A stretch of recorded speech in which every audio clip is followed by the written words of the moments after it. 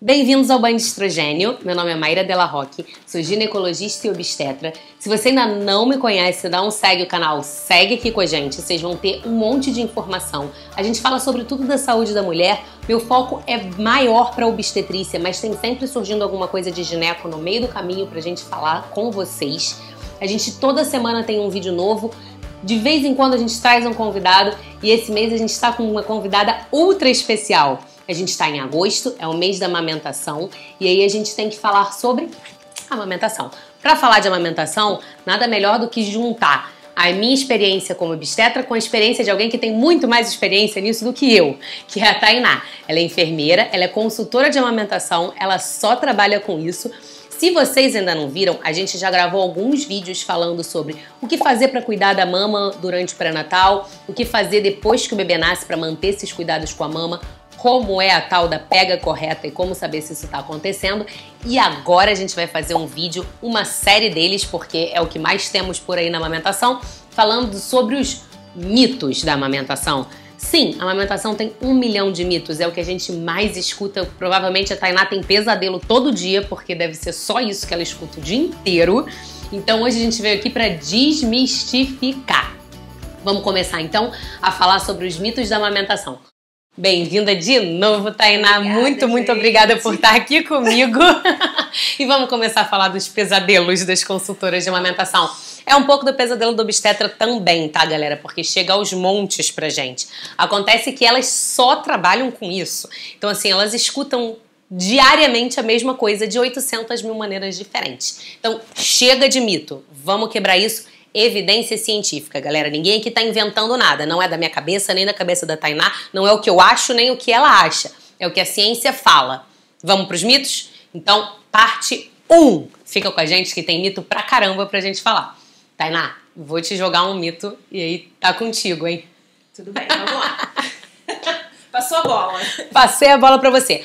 Gente, a gente pode começar com o mais clássico. Meu leite é fraco. Ixi. Não alimenta. Olha, isso é um clássico dos clássicos, gente. Primeira coisa, não existe leite fraco. Nenhum leite é fraco. Tá? O seu leite é personalizado para o seu bebê. Né? Ele é espécie específico. Então, ele é feito para o seu bebê. Então, não existe essa de leite fraco. As pessoas associam que seu leite é fraco porque o bebê chora muito. Inclusive, é a única forma dele se comunicar, tá, gente? Se o seu bebê falar, você sai correndo. Porque ele só sabe chorar. Então, se ele tiver com frio, ele vai chorar. Se ele tiver com dor, ele vai chorar. Se ele tiver com fome, ele vai chorar. Se ele quiser rotar, fazer cocô, tudo isso pode trazer um desconforto pro bebê e ele vai chorar. Então, isso não quer dizer que seu leite é insuficiente ou seu leite é fraco. Também, porque o bebê não está ganhando peso, existem outros fatores. O nosso olhar tem que ser muito mais amplo. Então, essa pega está correta? Quanto você está oferecendo esse peito? Tem várias outras coisas que a gente precisa olhar. Mas eu tenho certeza absoluta que leite fraco não é o caso. Não. Não existe. Leite fraco não existe, gente. Às vezes eu fico me perguntando da onde saiu essa ideia de que a produção do leite faz ele ser fraco. Assim, o que, que faz o leite de uma mulher ser fraco e o leite da outra mulher não ser fraco? Me conta aí nos comentários, você que já ouviu isso, o que, que te fez pensar que o seu corpo não produz pro leite ser fraco? Né? Isso não faz muito sentido. Tipo, tem um hormônio, tem nutrientes no seu corpo, tem água no seu corpo, tem gordura no seu corpo. Por que, que o seu leite vai ser fraco? Sabe, assim, não consigo entender. Tá aí, é uma coisa que eu não consigo entender, mas é uma das coisas que a gente mais escuta, tá? Então, não existe leite fraco. Aqui, ó, bem grande, não existe leite fraco, certo? Mito número 2.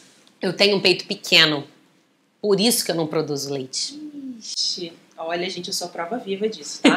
amamentei exclusivamente, amamentei até 3 anos e 2 meses da minha filha e, gente, não tem nada a ver, tá? É claro que existe uma, uma diferença entre as mamas, então você pode produzir mais leite de um lado do que do outro, mas isso não quer dizer que porque você tem peito pequeno, você vai produzir pouco leite. Se você tem peito grande, você vai produzir mais leite. Na verdade, o que vai diferenciar um peito do outro é a quantidade de gordura. Então, não isso quer dizer que a sua capacidade de produção vai ser menor ou, me- ou maior, tá? Então, o tamanho do peito não interfere em nada na sua produção. Absolutamente nada, gente. Pelo amor de Deus, não faz sentido. Né? É mais uma coisa que não faz sentido nenhum. Até porque aí a gente entra no mito 3. É bom que um já engatilha no outro. A gente entra no mito 3, que é a questão de meu peito tá murcho, então não tem leite aqui dá no mesmo da questão do, do, do, peito pequeno, né? Assim, não é, não, é, não é estoque, galera. Não importa se você tem um tamanho 48 de peito, tem muito leite guardado ali. Isso não existe. Idem, idem pro peito murcho, né? Meu peito é murcho, e aí? Então, é, na verdade, a mulher fica com aquela ideia de que ela vivenciou a pojadura, né? Então ficou com aquele, normalmente, né? Aquela sensação de, de mama mais densa, mais pesada, uma produção exacerbada, o corpo ali tá entendendo a demanda do bebê. Então, há uma produção maior, tá? Então, isso acontece muito, muito comum acontecer. E a mulher fica com aquilo na cabeça, porque ela consegue ver o leite, ela consegue ver aquele vazamento, porque o corpo está entendendo ali o que está acontecendo ainda, a produção do que o seu bebê precisa. Só que isso vai passando o tempo, o corpo vai entendendo a demanda do seu bebê. Gente, o corpo é perfeito, a fisiologia é perfeita. Entendeu a demanda do bebê, tudo que em excesso pode trazer malefícios. Então o corpo começa a produzir o que o seu bebê precisa, salvo exceções de hiperlactação, tá, gente? Uma outra situação.